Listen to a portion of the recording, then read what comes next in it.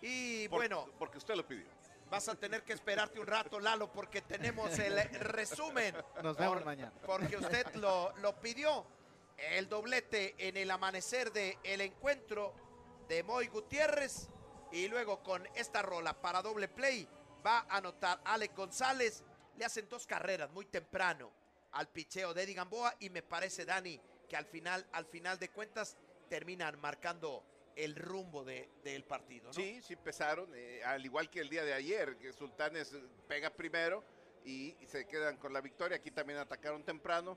Jonrón, el primer jonrón de, de Ornelas, poniéndole arroz a la maraca. Y, y bueno, a final de cuentas iba a ser el niño de la película. ¿no? En la tercera entrada, el equipo de los Sultanes de Monterrey atacó con Ali Solís conectando el imparable que abría la tanda.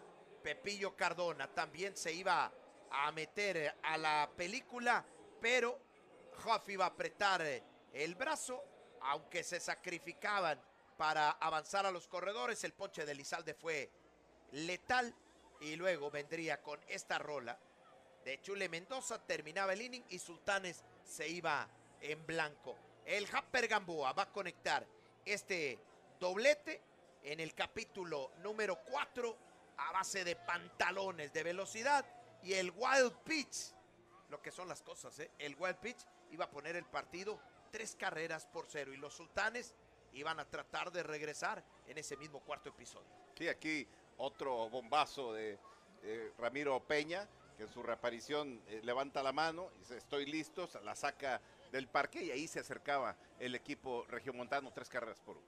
En la quinta entrada, los sultanes de Monterrey volvieron a la carga y en la quinta también llegaron a tener corredor en la, en la tercera base, pero ligaron imparables Cardona y Caliste, ponchan Elizalde y la rola para doble play de Zoilo Almonte que termina aclarando el panorama.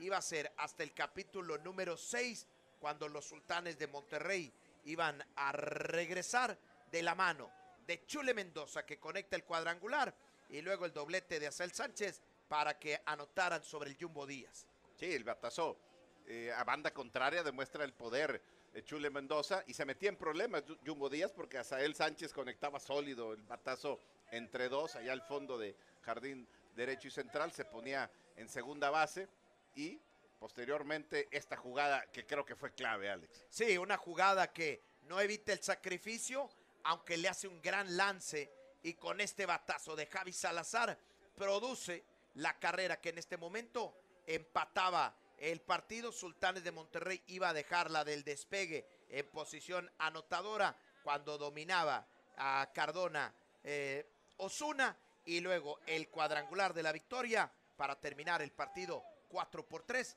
el triunfo de los Diablos Rojos del México. Roberto Osuna va a ponchar a Caliste, domina Elizalde rompiéndole el bat y luego va a ponchar a Zoilo Almonte para terminar el juego de siete entradas y la victoria 4 por 3 de los Diablos para emparejar la serie. Mañana 7.30 la cita en el Palacio en este